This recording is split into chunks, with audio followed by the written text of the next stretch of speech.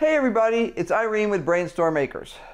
And it's the end of the day, and I've got a whole refrigerator full of squash. Usually, because today is a Friday, I would be making a pizza, but we decided that we actually felt more like what we call our squash pasta tonight. So, let me show you how we do this.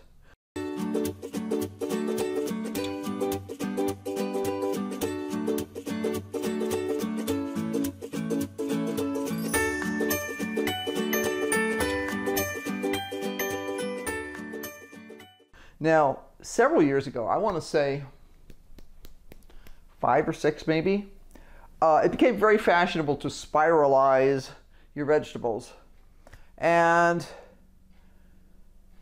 I heard about people using things like zucchini and other vegetables to create a pasta substitute. And I thought, well, that'd be kind of cool. But when I looked at the spiralizers, when I looked at the spiralizers, they were all really expensive, like $150, $200. And I'm like, I don't even know if we're going to like this or not. So why would I buy something and then maybe we don't like it? So what I did find finally is I found a small one on sale.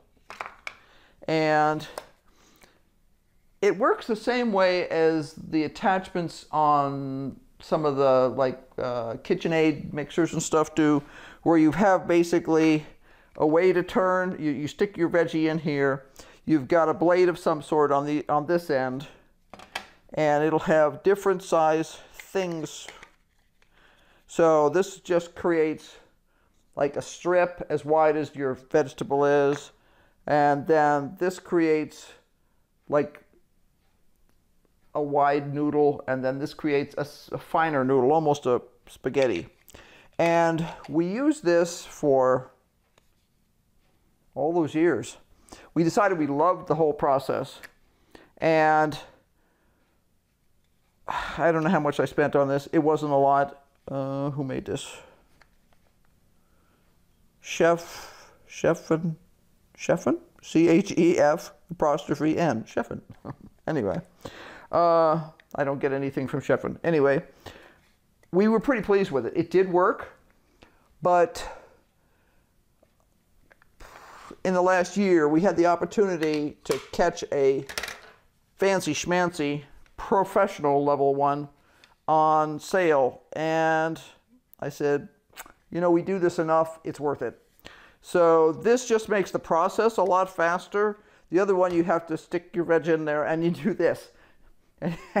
and to be honest, your wrist can get pretty tired twisting that thing. So this you've actually got a, a handle on. But it does the same sort of a thing. You've got different teeth that can stick up. This is the widest noodle sort of thing. And we really like that size, so I'm going to stick with it. Now, what I have in preparation for this is I have one of our onions, which is a candy onion, which we harvested earlier this summer. Now, if you don't like onions, you don't have to cook with onions. We just happen to like an onion added to our fake pasta. it gives it a little bit more flavor. And I am being totally attacked by flies. Let's see if we can kill some of these guys. We've been having a major fly problem today. Let's see, there's one. Anybody else want to risk it? I don't think so. Anyway, Julia Child never had flies in the studio. I'm convinced. But it all it takes is a cat or dogs taking that extra bit of time to come in and out, and you're full of flies. And right now, we're full of something even weirder. We're full of cucumber beetles. Um, I woke up this morning and came in the kitchen, and there were like 50 cucumber beetles on the inside of the door going, let me out. And I'm like, no. So I smashed them all, of course. And I still just killed another 20 in the dining room just about 10 minutes ago. They zoom in when the dogs and cats are wandering around and yeah, kind of a pain. But the nice thing about it is they're not on my plants if they're in my house. So, and they're very easy, relatively speaking, to squash. It's not like a fly. They're not clever like flies are. They're just annoying. so all I'm doing is getting off the outside, the brown outside of this. I want to make sure I have all the brown outside off because I hate brown outside on skin in my onions. Uh, you can cut it up however you want to. Like I say, we happen to like onions as part of our thing. Uh, if you prefer garlic, if you prefer nothing, these squash, sometimes I don't put garlic in, I mean onions in. The, the squash by themselves, if you do it the way we do it, will actually get a little bit of browning on it, and it's the browning that really gives it the flavor. Squash is extremely mild, especially this type. So it, it doesn't have a huge humongous amount of flavor to it. And browning it just a little bit gives it that flavor. That's why you'll see people doing things like grilling them on the barbecue and this and that and the other thing. You're using them as a carrier for flavors the same way as you would use chips as a carrier for flavors. So, you know, I used to make I used to make uh, zucchini lasagna, all that kind of stuff. Now, some light olive oil.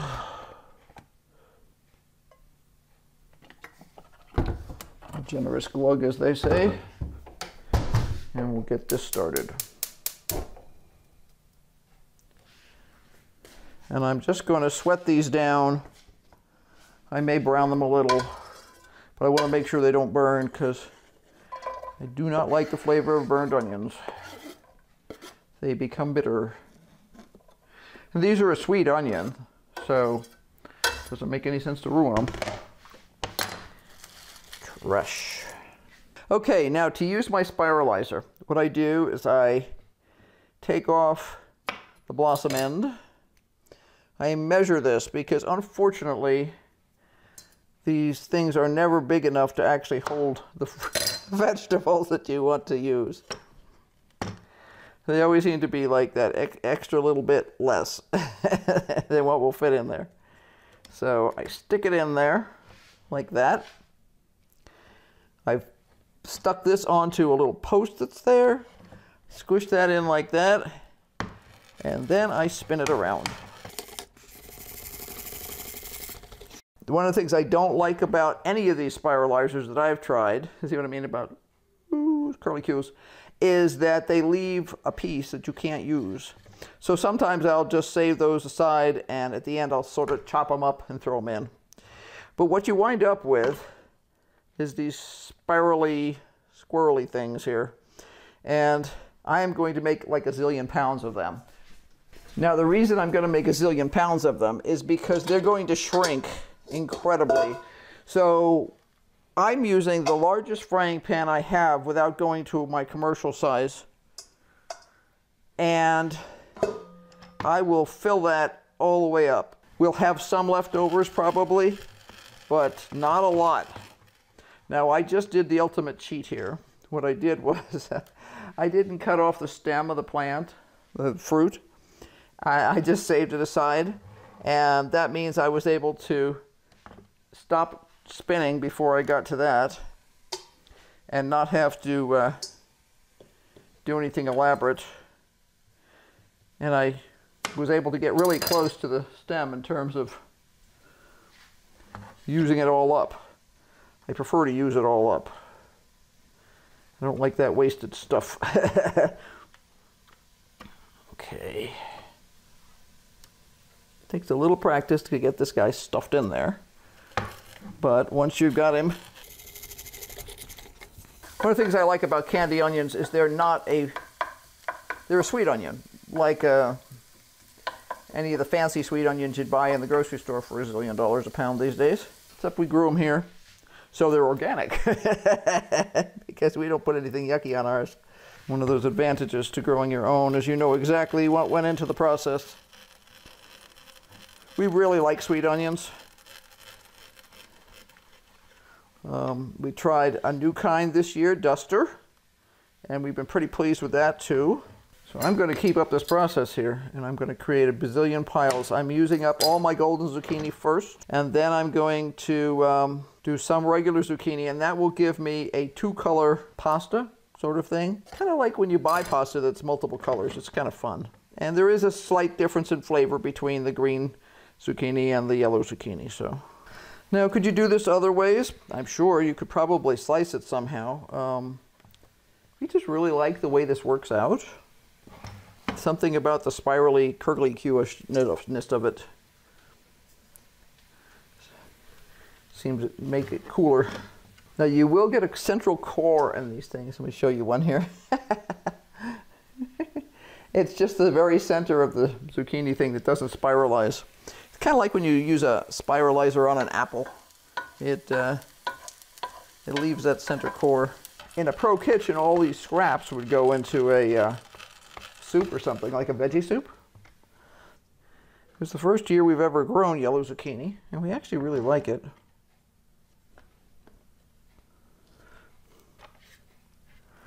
And it does have a slightly different flavor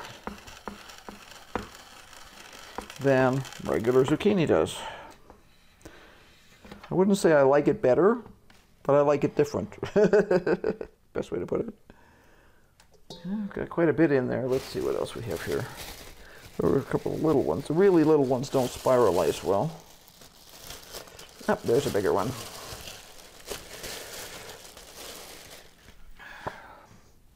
As you can see, I've got a decent quantity in there right now, but that's still, it's going to shrink down a lot because squash has a lot of water in it.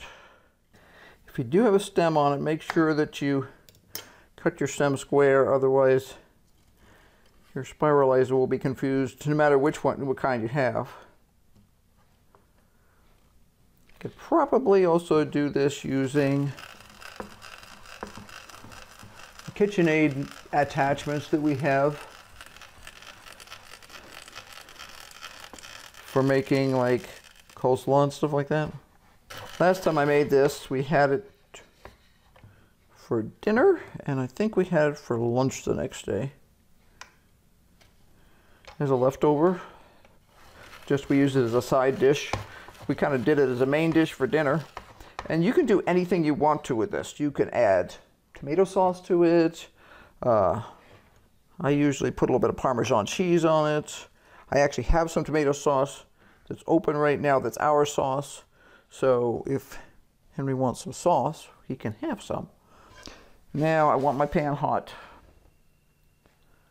I'm cranking it up. I'm moving my onions over to the side because I don't want to uh, overcook them. And you could even take them out if you were concerned about burning them. I know from experience that I can just push them over to the side and they'll be fine.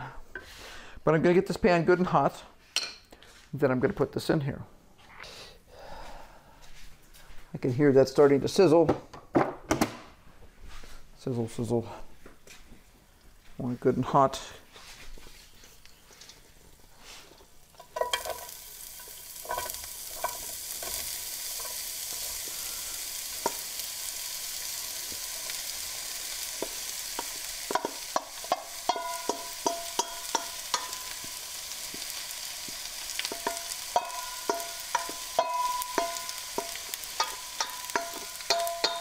Now the longest part of this process is definitely actually the spiralizer part.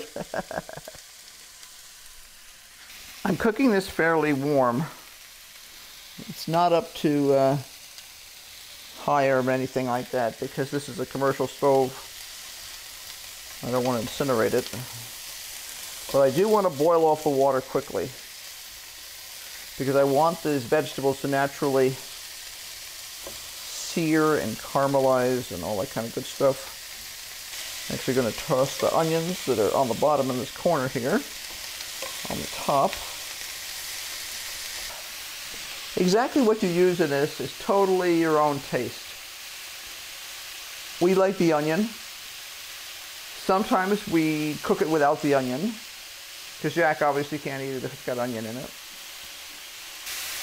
You could substitute garlic. Just be really careful not to burn the garlic. Because if you think onion gets bitter when it gets burned, garlic is twice as bad, at least. I'm starting to get some browning. Now I'm not frying this. This is a non-stick pan. There was some oil in there that I used for frying the uh, onions. But I don't, there's no layer of oil in the bottom of this. Now we have some nice browning on here. I think you could probably see that. And we're just about done. You can cook it as soft as you like it. We tend to leave a little bit of texture to it. And we're just going to serve this probably with some Parmesan. Henry, would you like some tomato sauce on yours tonight? Okay, he's going to stick with the Parmesan. We actually have some very nice Parmesan that I got at the grocery store the other day that's shaved. Good Parmigiano Reggiano. Good stuff. And that's it. You could add other vegetables. You could add like peppers, red peppers. You could make it spicy, chipotle, sauces, all kinds of other things. This is the simplest version. Well, not the simplest. The very simplest is just plain cooking the, the uh, um, the squash by themselves. And then we've added, in this case, also the, uh, the onions. But you can add whatever your heart desires. It's a great way to create kind of a mishmash of vegetables for dinner. Try cooking up something like this at your place. It's a great way to help clean out the fridge. These are all really good squash. The quality was good. It was just that they were sitting there and I could we could only eat them so fast. But when you do a massive pile like this, that's how you really knock them down. And that's exactly what we needed to do tonight. So be sure to like, subscribe, hit that notification bell because obviously we're going to be doing lots more. I have a ton of cucumbers in the refrigerator. The other day I shared how to do sunomono and the uh, dill salad.